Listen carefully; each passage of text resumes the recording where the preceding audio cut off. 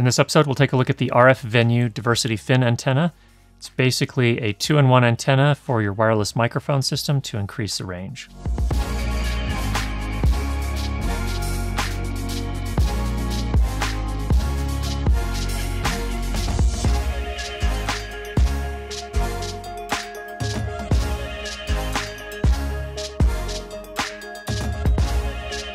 Wireless microphones for video production are a blessing and a curse, but mostly a blessing and pretty much a necessity in 2021. The curse part is interference and signal dropouts.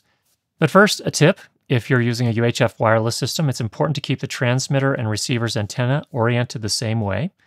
So, if your transmitter antenna is oriented vertically, you'll also want your receiver's antenna to be oriented vertically and likewise, if the transmitter's antenna is oriented horizontally, you'll want the receiver's antenna to be oriented horizontally as well.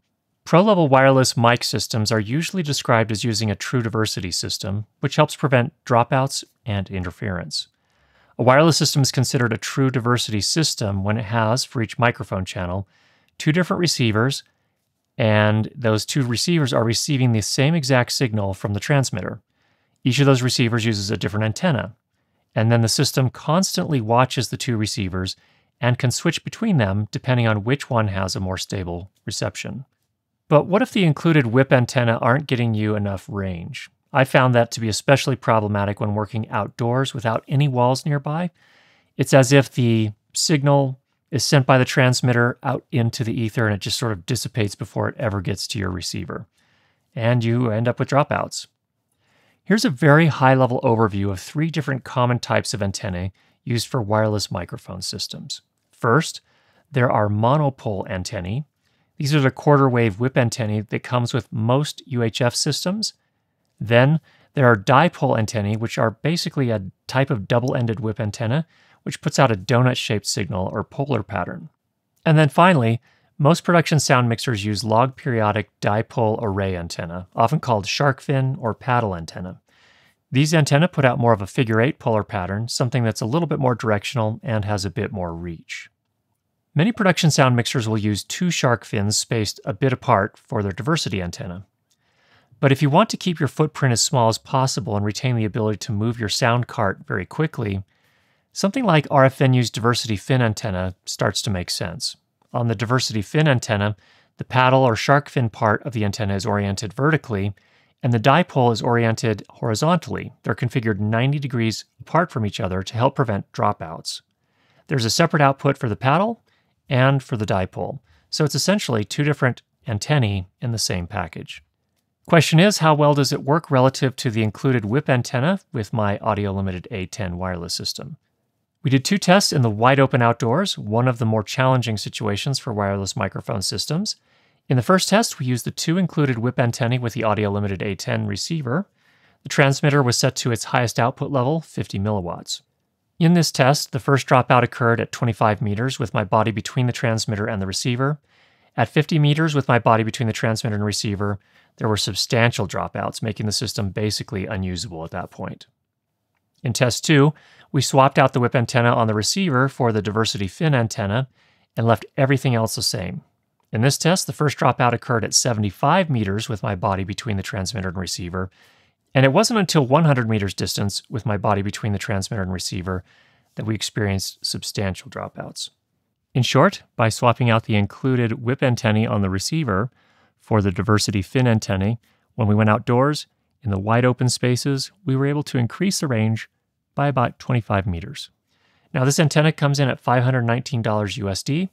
That may sound steep or expensive, but for paid work where you have to deliver, seems like a fair price. Here are the tests that we did so you can hear for yourself. In this first test, we're going to use the whip antennas, which are just here on the slot system here. So diversity antennas, this one is uh, rated for 470 to 548 megahertz. This one is 518 to 608. We are actually using uh, 518 megahertz frequency for this particular transmission. So I'm gonna go ahead and count off some steps and let's see when we get dropouts. One, two, three, four, five, six, seven, eight, nine, 10, 11, 12, 14, 15, 16, 17, 18, 19, 20, 21, 22, 24, 25. Okay, about 25 meters here. And I've turned around, so um, no more line of sight here for the transmitter. Uh, transmitter's in high power. The antenna is oriented vertically. And of course, the whip antennas on the receiver is oriented vertically as well. Go ahead and turn the antenna so it is now oriented horizontally behind my back.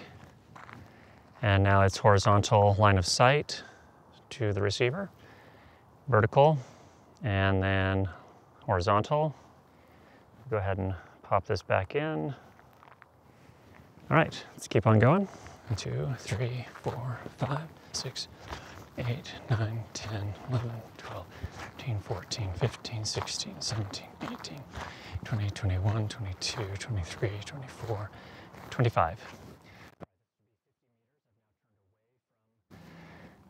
Um, turned so that the transmitter is on my back. I am between the transmitter and the receiver. Receiver still up here. Vertical oriented antennas on both the transmitter and receiver. Go ahead and turn that so the transmitter is oriented horizontally whereas the receiver is oriented vertically.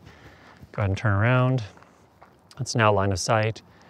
Uh, we're horizontal here on the transmitter and vertical on the receiver. Now vertical on the transmitter, pop it back on my belt. This is the same as last time. We are using the RF venue diversity antenna. So let's go ahead and count it off, stopping every 25 meters. One, three, four, five, six, seven, eight, nine, 10. 12, 13, 14, 15, 16, 17, 20, 21, 22, 23, 24, 25, 26. Whoops. Let's stop at 25. 25 meters here. Again, we're at high power on the transmitter. It is on the small of my back here, on the belt. Let me go ahead and pop the transmitter off now. The antenna is vertically oriented at the moment. Now I'm going to change it. Now it is at 90 degrees to that, so it is horizontally oriented. And let's go ahead and turn around. Horizontally oriented here still. Here's vertical. Here's horizontal. And here is back on my belt in a vertical orientation. And we'll keep on going. One, two, three, four, six, seven, eight, nine, 10, 12, 13, 14, 15, 16, 17, 20, 21, 22, 23, 25. Okay. Here we are at 25 meters and approximately.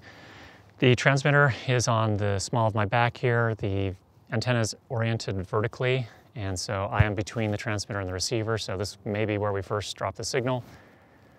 Pop the transmitter off, change it into horizontal orientation. Let's turn around. The antenna is now in horizontal orientation. Now it's in vertical orientation, horizontal orientation back to vertical. Let's go ahead and pop it back on my belt. Cover it up and keep going. One, two, three, four, six, seven, eight, nine, 10, 11, 12, 13, 14, 15, 16, 18, 19, 20, 21, 22, 24, 25. This should be about 75 meters here. Again, the transmitter is on my back here, oriented vertically with the antenna right now. Let's pop that off. The antenna is now oriented horizontally, back to vertical, horizontal, direct line of sight, horizontal oriented, back to vertical. Let's go ahead and hide it on the belt again. And we will keep going. One, two, four, five,